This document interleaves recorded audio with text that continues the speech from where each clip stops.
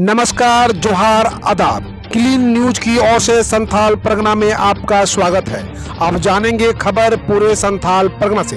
दुमका जाने के क्रम में पूर्व सीएम शिबू सोरेन कुछ देर धनबाद में रुके।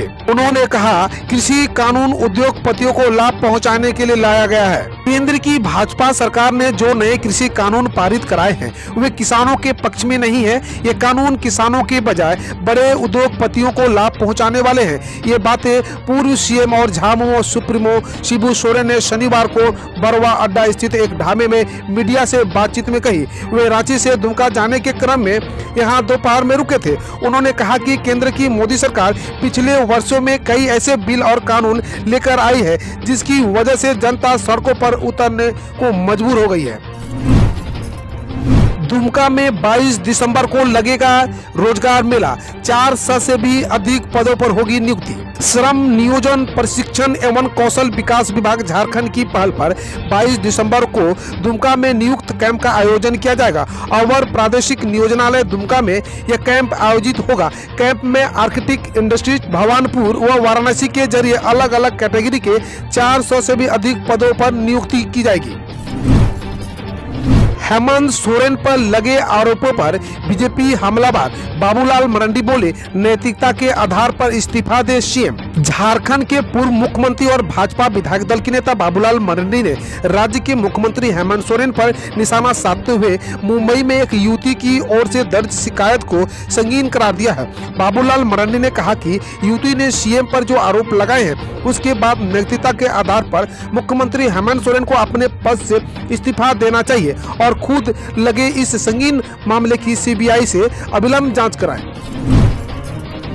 अब खबर गोड्डा से गोड्डा में 20 साल बाद भी स्वास्थ्य सेवा में बदहाल हालत में। झारखंड के गठन के बाद कई सरकारें बनी। विकास के दावे और वादे भी सामने आए। गोड्डा में तकरीबन हर क्षेत्र में विकास हुआ, पर मरीजों की पीड़ा इस शोर में दब गई। स्वास्थ्य विभाग चिकित्सा सुविधा उपलब्ध कराने में पिछड़ गया। 20 साल बाद भी 15 लाख की आबादी वाले ज़िले में इलाज की कोई माकूल व्यवस्था नहीं हो पाई है। नतीजतन यहाँ के अधिकतर मरीज़ बिहार के भागलपुर रेफर होते रहे हैं। गोड्डा से चयनित 20 लाभुक जाएँगे रांची। राज्य सरकार के कार्यकाल के एक साल पूरे होने पर गोड्डा ज़िले से चयनित 20 लाभुकों को कार्यक्रम में शामिल होने के लिए रांची भेजा जाएगा। शनिवार को उपायुक्त भोर सिंह यादव की अध्यक्षता में जिला मुख्यालय में हुई बैठक में इसका निर्णय लिया गया। उनतीस दिसंबर को रांची के साथ जिला स्तर पर भी कार्यक्रम आयोजित किए जाएँगे। सभी संबंधित विभागों को तैयारी करने का निर्देश दिया गया है। जिला स्तर पर स्कूली क्रिकेट लीग प्रतियोगिता हुई शुरू। जिला क्रिकेट एसोसिएशन के तत्वाधान में Ritesh memorial school league cricket प्रतियोगिता शनिवार से शुरू हो गया। जिला खेल पदाधिकारी राहुल कुमार ने प्रतियोगिता का उद्घाटन किया। इस दौरान खिलाड़ियों से परिचय प्राप्त किया। मौके पर जिला खेल पदाधिकारी ने कहा कि जिस तरह से जिला क्रिकेट संघ कोरोना काल में भी जिला प्रशासन के स्तर से उपलब्ध कराए गए एसओपी का पालन करते हुए आयोजन कराया जा रहा है, ये काफ़ी सराहनीय है। अब खबर देवघर से। बाप बेच रहा ताड़ी, बेटा धन कुबेर अपराध की कमाई से शान शौकत की कहानी। सारठ के किशन चौधरी किशन मूल रूप से बिहार का मुंगेर के घोगा गाँव निवासी है। पाँच दशक पहले किशन के पिता मधु चौधरी सारठ आए थे। एक झोपड़ी बनाई और ताड़ी बेचने लगे। आज भी वे ताड़ी बेच रहे हैं। बचपन से गरीब की छाव में पला बड़ा उनके बेटे। अजीत को ईमानदारी की ज़िंदगी रास नहीं आई थी। देवघर और जामताड़ा में साइबर अपराध से चुटकियों में लाखों कमा लेने वाले अपराधी उसके रोल मॉडल बन गए। बस क्या था? अपने साथ ही राजीव के साथ वो भी इसी राह पर चल पड़ा। अपराधी की दुनिया में कदम रखते ही काली कमाई आने लगी।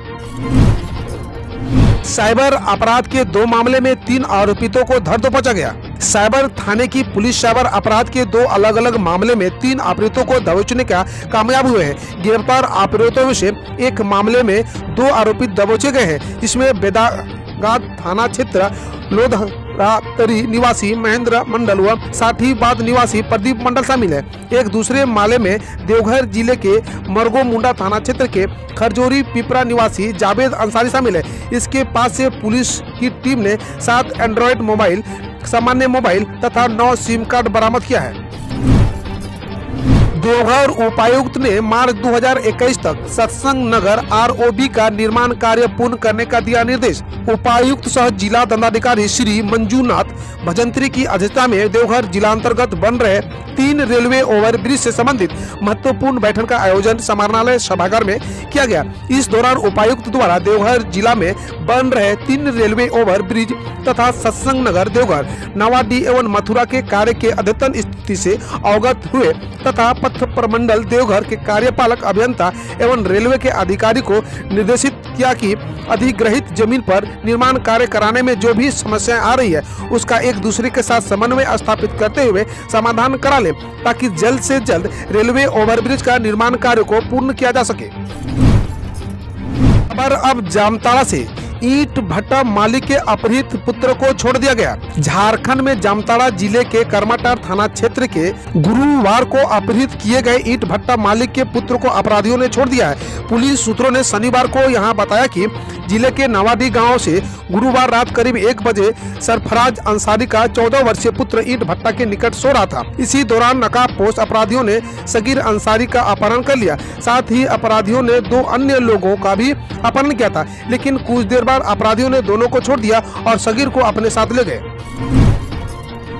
बृहद जलापूर्ति योजना के लिए पूरा हुआ सर्वे। जामतारा के कर्माटांड प्रखंड के हर घर में पानी पहुँचाने के लिए पेयजल योजना को शीघ्र धरातल पर उतारने की सारी प्रक्रिया पूरी करने के लिए सारण विधायक रणधीर कुमार सिंह ने पीएचईडी के अभियंता प्रमुख व उमेश प्रसाद के साथ शनिवार को बैठक की।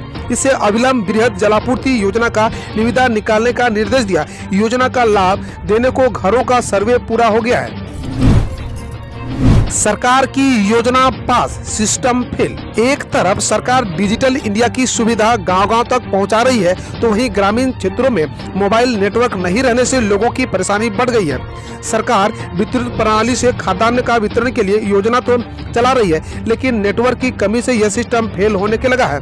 पीडीएस दुकानदार खाद्यान्न वितरण को पॉस मशीन के साथ लाभुकों को लेकर ऊंचाई तक पहुँचते हैं, तब जाकर किसी को खाद्यान्न मिल जाता है। ऐसे में गरीबों को मिलने वाले सरकारी निवाले पर आफत हो रही है। अब खबर पाकुड़ से। पंचायत चुनाव नहीं कराना चाहती हेमंत सरकार। झारखंड की हेमंत सरकार पंचायत चुनाव नहीं कराना चाहती है, ताकि पंचायती राज की राशि को अधिकारियों को मिली भगत से अपना झोला भर सके। उक्त बातें बाबूलाल मरंडी ने शनिवार को झामुमो के गढ़ लिट्टी पाड़ा में कही। वे यहाँ दामिन डाक बंगला में भाजपा के अनुसूचित जनजाति कार्यकर्ता सम्मेलन को संबोधित कर रहे थे। पूर्व मुख्यमंत्री ने हेमंत सोरेन सरकार पर हमला बोलते हुए कहा कि झारखंड की सरकार भ्रष्टाचार में लिप्त अधिकारियों और व्यवसायों के इशारे पर चल रही है।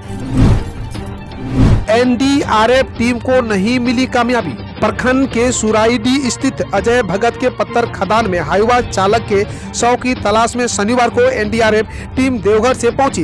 काफ़ी मशक्कत के बाद भी एनडीआरएफ की टीम खदान से शव की तलाश नहीं कर सकी। इसके हाईवा चालक के परिजनों में मायूसी देखी गई। वहीं चौथे दिन भी हाईवा चालक का शव नहीं मिलने पर आक्रोशित लोगों ने आंदोलन की धमकी दी है। फ़िल्टर प्लांट के पानी से भर रहे हैं खेत। खबर साहेबगंज के राजमहल से है। कस्बे के देवली सड़क मार्ग पर बने बिसलपुर टोंक उनियारा पेयजल परियोजना के फ़िल्टर प्लांट से निकलने वाला गंदला पानी तालाब के करीब खेतों की परेशानी बनता जा रहा है। यहाँ प्लांट से पानी फ़िल्टर करने के बाद बचे हुए पानी की निकासी बरसाती नाले से होकर सार्वजनिक तालाब में की जाती है। सार्वजनिक तालाब परिसर में प्रशासन की अनदेखी के कारण हो रहे अतिक्रमण के चलते तालाब का बढ़ता जलस्तर निकटवर्ती खेतों में भर रहा है। किसानों ने बताया कि तालाब के करीब लगभग 20 बीघा भूमि फ़िल्टर प्लांट के पानी से जलमग्न हो जाती है, जिससे पिछले दो से तीन वर्ष तक काश्त कार्य नहीं हो पाता है। हम रोज ऐसे ही न्यूज़ लाते रहेंगे। तो यदि आपने अभी तक क्लीन न्यूज़ को सब्सक्राइब नहीं किया है तो पहले फटाफट सब्सक्राइब कर लें। साथ ही बेल आइकन को दबा दें, ताकि कोई अपडेट मिस ना हो।